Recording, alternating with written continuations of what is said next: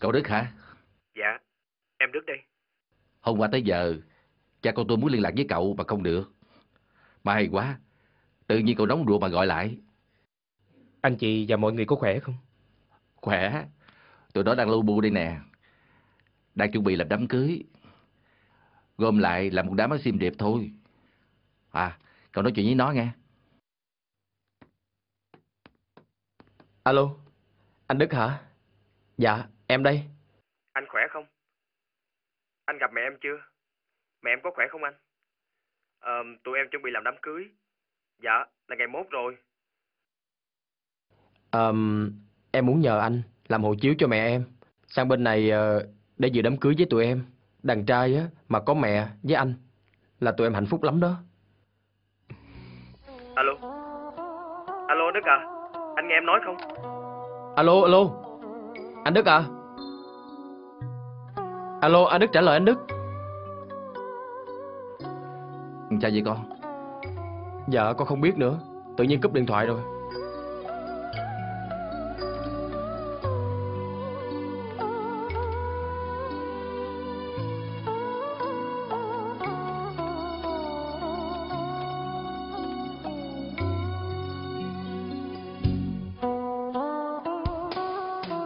Alo?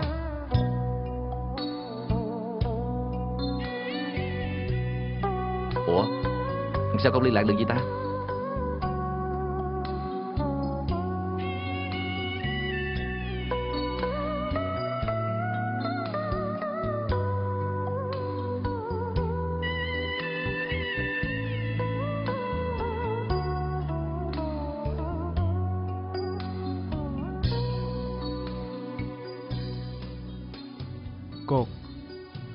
Thôi. Bà Không làm phiền con nữa. Bà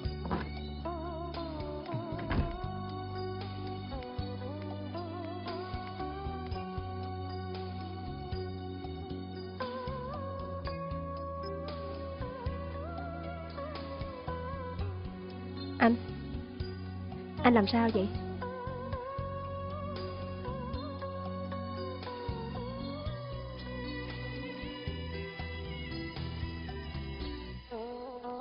Ba mày bỏ má đi á Từ lúc mày còn trong bụng má Bởi vậy má đặt tên mày là Hận Má hận ông già tí mày lắm á Từ đó tới giờ ông không về nhà hả má?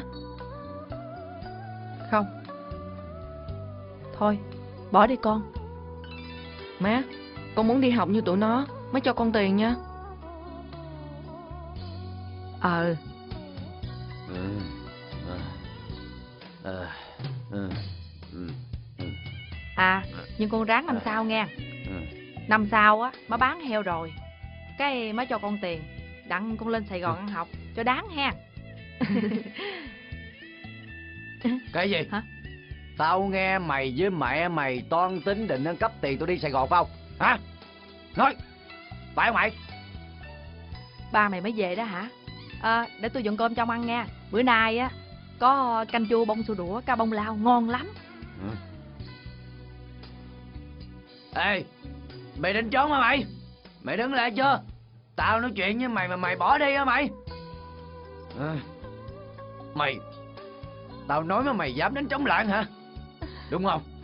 Mẹ con mày toan tính ăn cắp tiền tao phải không? Dạ Hả? không có Tại sao mày dám ăn cắp tiền tao? Hả? Dạ không có anh ơi Không có ăn cắp tiền à? của anh Buông ra! chết? Hả? Ông đừng có đánh má tôi nữa! Giết mày chết! Im lại anh Im lại anh Mày à! Dám ăn cắp tiền tao nè! Mày à! Đừng mà con Ờ. Đừng Ờ, ờ, Hai mẹ con mày không đồng giết tao hả? À, à, Chạy đi con Mày hả? Dám đánh tao hả? Đồ con quan! Giết mày! Mày giết chết đi! Đồ mất dạy! Đồ con quan! Hôm nay mày dám đánh tao hả? Tôi lớn, tôi về tôi giết ông! Đừng có đâu mà đụng tới má tôi! Con ơi Mày đứng lại! Mày đứng lại chưa? Con Con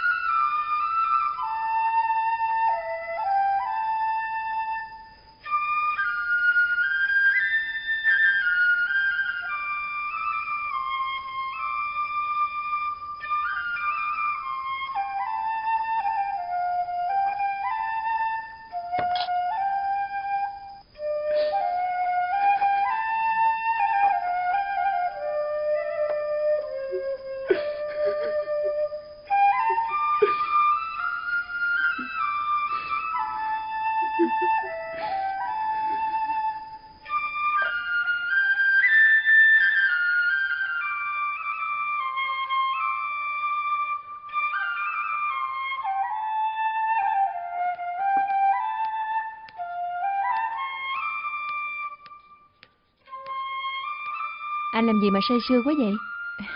Quên cả giờ về ăn cơm. Anh làm bức tượng Phật này để tặng cho mẹ của anh. À, ừm, anh Đức có trả lời anh chuyện đưa má sang dự đám cưới của tụi mình không? Chưa. Anh nói là sáng mai mới trả lời được hay không?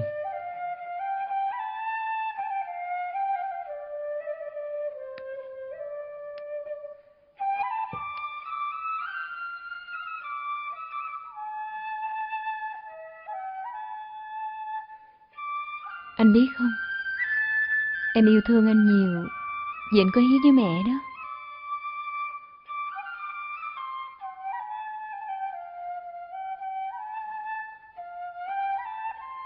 Tại vì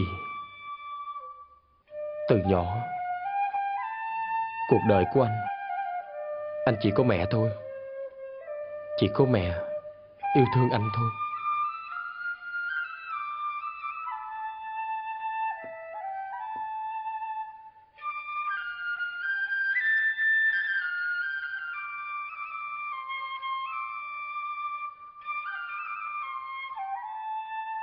Bây giờ anh được quá nhiều.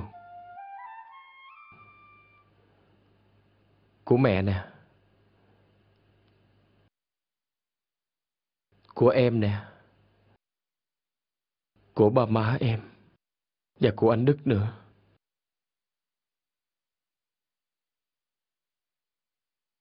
Nhưng mà anh cứ lo lo, sợ sợ.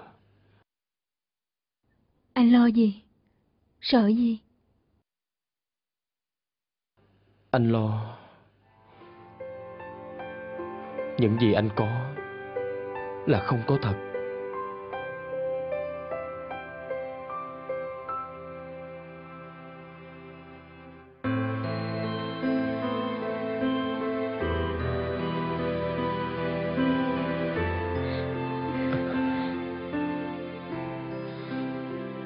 Chuyện em yêu anh là có thật nè. Chuyện ngày mốt tụi mình làm đám cưới là có thật nè. Đúng không anh?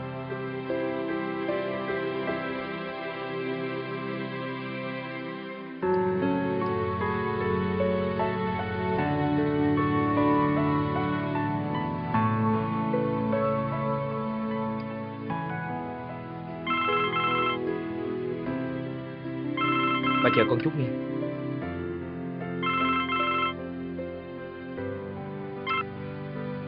Alo, ai đó? Dạ anh Đức hả? Nhi hả? Dạ, em đây. Anh ơi, anh có lo được giấy tờ để đưa má à, má chồng của em sang bên này dự đám cưới được không anh? Ừ. Alo, anh Đức hả? Anh có nghe em nói không vậy? Alo, Ờ, anh nghe. Bây giờ ờ, em nghe anh nói nè. Anh cũng không chắc là có thể đưa được mẹ chồng em sang bên đó không?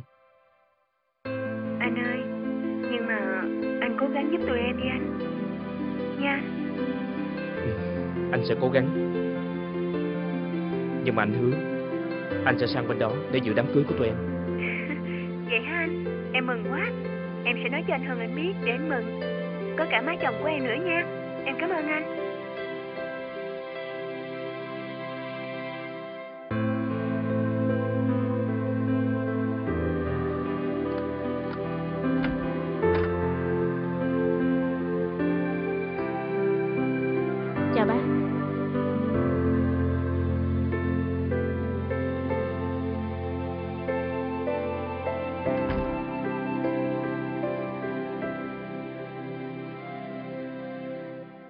Ủa?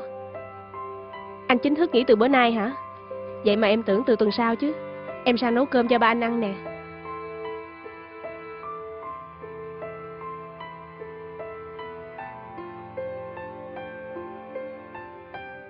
Anh vẫn cứ buồn chuyện của họ hay sao? Thôi, anh cứ im lặng đi. Đừng nói chuyện má hơn mất làm gì. Coi như là họ không biết đi.